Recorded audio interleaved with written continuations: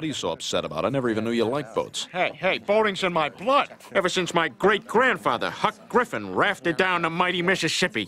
What did you just call me? I, I, I thought that was your name. That is our word. You've got no right using it. Hey, hey, hey, I'm cool. I'm cool. No problem.